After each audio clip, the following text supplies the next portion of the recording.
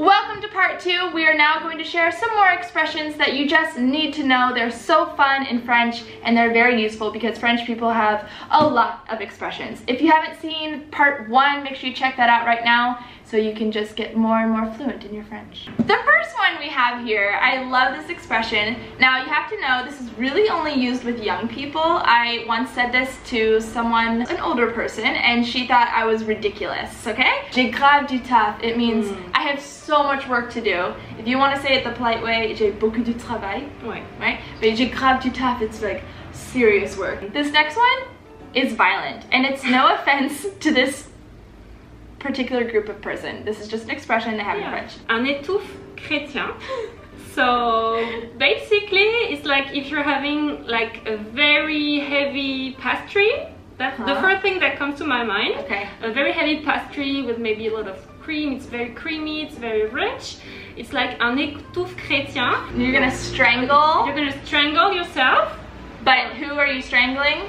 A Christian. A Christian. Why? I have no clue. Yeah, c'est un étouffe chrétien. C'est un étouffe chrétien, c'est le truc que je mange. Ouais. Okay, so like this pastry, c'est un étouffe chrétien. Mm -hmm. Exactly. This one, you taught this to yeah, me, I and did. I think it's super cute because it's actually using something in English that we don't say. Mm -hmm. But in French, if you say "je suis pumped up," it means you're tipsy. You have been, it's in the face, like you're, you've been drinking and you're starting to feel like feeling like funny, yeah. good energy, so you pump it up. Pump it up. Yeah. I think it's so cute. Next one is very funny. It's very visual, but it's very strange. It's poser un lapin, which basically means to just to leave a rabbit instead of yourself. Instead of yourself. So basically, it's to ditch someone or to stand someone up. Uh, to stand someone up. Yeah. So let's say I had to meet a friend tonight, but for some reason I can't go and I don't say anything so my friend is gonna wait and wait for me and I will never show up. J'ai posé un lapin. It's almost like you're putting a rabbit there to pretend that you're there and yeah. then you're not actually there. And this one we use a lot. Do you? Yeah do you stand people up a lot I guess we do. I really love this one too. They're also using um, another, an English word to kind of mean something else. So in English we would say let's play it by ear. You know, if you're, you make, you're making plans with someone and you're not really sure what time or where you're gonna meet, let's play it by ear. In French you'd say on fait au feeling. Mm -hmm. Next one is je me sauve.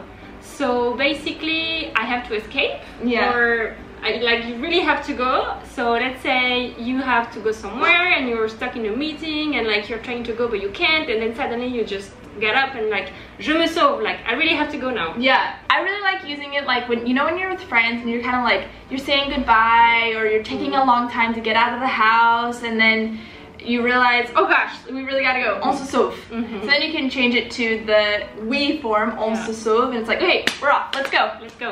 Um, this next one I added on here, it's not really an expression, it's more like a term for bachelor or bachelorette party, but I think it, it's quite depressing. Yeah. So what you would say for bachelor or bachelorette party is un enterrement de vie de garçon ou un enterrement de vie d'une jeune fille, and this means a burial of the life of a boy or the burial of a life of a girl. Getting married is not getting buried, okay? This is not the death of you. Next, very useful, we use it all the time, avoir la flemme. It's like if you're lazy, there's something you really have to do but you really have no, you really don't want to do it. Oh, j'ai la flemme. Let's say it's Saturday and you just want to stay at home and yeah. relax, but you have to go somewhere and you're like, oh, j'ai la flemme. Mm -hmm. I don't want to go, j'ai la flemme. It, it's kind of like je suis pas motivée. Je suis pas motivée. Like I'm just really not in the mood. Mm -hmm. I don't really want to go. I'm feeling lazy. Exactly. But I find it funny because phlegm for us is like like this stuff and like oh. mucus in here. Okay. So it's like it. I have the image of being just kind of like a big uh, glob of mucus. Next expression, t'as du bol, which literally means you have a ball, but that actually means you're lucky. Uh, but you you can also say it in the negative forms like t'as pas de bol Mm -hmm. Like you have, ah, you're you're, you're, you're, yeah, such bad luck. Yeah. Let's say, for instance, uh, you're going on vacation somewhere sunny. You're going to Mexico for the summer, and you get sick. Uh, or ah, t'as pas de bol. pas de bol. Or it's raining. Or it's raining. Ah, t'as pas de chance. Okay. T'as de bol. It's kind of like too bad. Too bad. The regular form to say you're lucky is tu as de la chance, but t'as de bol is just more familiar. Mm -hmm. Um, a nice one is to say I slept in. You would say j'ai fait la grasse mat ou je fais la grasse matinée. Mm-hmm. And it means like I made the fat morning. To normally say like be careful or watch out when you're in Paris and there's a moto riding by really fast, you say attention. Mm-hmm. But another more familiar way you can say is fais gaffe, which I think is really mm-hmm. funny. Next one is être dans la lune. So it's like to be on the moon. That actually means to be spacey. Yeah, right? so my friend Amelie taught me this one. I was talking to her and she wasn't listening.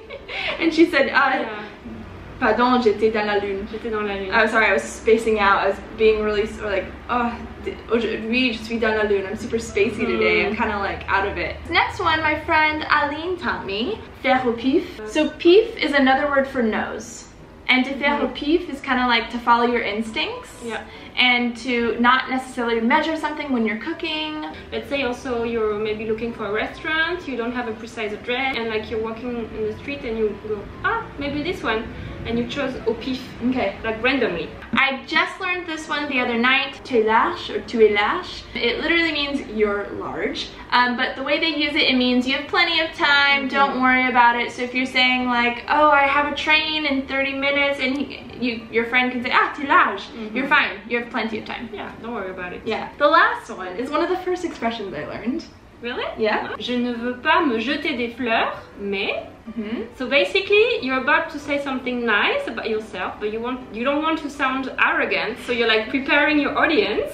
Uh, it's like I don't want to brag, Yeah. but and like basically, se jeter des fleurs. It's like to throw throw flowers at yourself. Right. It's like when you're on stage and someone's they're throwing Mm. flowers because you did an excellent job, but if you're Yeah. throwing yourself flowers, you're just you're bragging.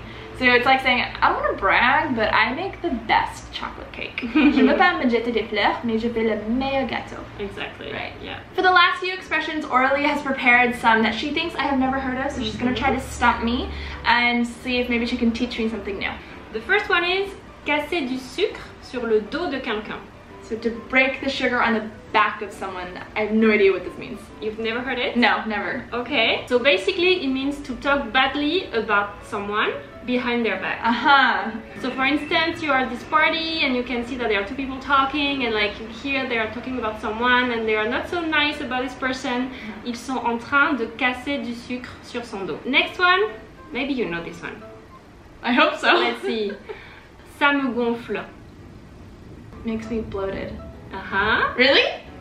But Okay, but figuratively, not literally. yeah, it's like to say that something or someone is really annoying you, like it's really boring or it's really annoying or So it's another way to complain. It's another way to complain. have so many expressions to complain, right? For instance, like you're you're talking to a friend and he's complaining about so many different things and he's never happy about anything and you're like, oh, il me gonfle. okay. Like it's so annoying. Next one is revenir à ses moutons. Come back to your sheep. Exactly.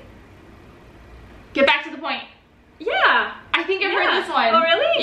Yeah. Yeah. So if someone is is talking and going on and going on a tangent, and how would do you say like let's get back to our sheep? Oui, revenons à nos moutons. Yeah, revenue on nous moutons. On nos moutons. Uh-huh. And actually, you can actually mix it this one with another word that you love. I know. You can say bref. Revenons à nos moutons.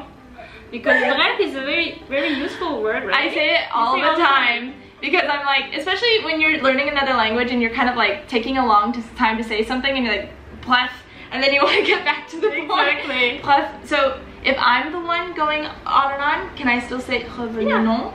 Yeah, moutons? you can say it Okay. also. Plef, re- revenons à nos moutons. Yeah. And people actually say this. Yeah. Okay. I'm gonna say it next time. As I said in part one, I want to make sure everyone knows who this person is. Mm-hmm. she is my French teacher. She is the person I've been meeting with to improve my French. When I have questions, she's so good at explaining stuff and she's very flexible and she thankfully has a website called Paris O'Clock for anyone who wants to learn French at any level. Yeah, any level, and it doesn't matter where you are in the world because I give classes uh, by Skype, so it's very flexible. She has this thing called the internet, um, and if you have the internet too, then you can make it happen. So you can contact me. I'll be happy to help. It is so fun to learn a language and it's hard to do it on your own. Sometimes you need someone holding your hand, like this pretty woman over here.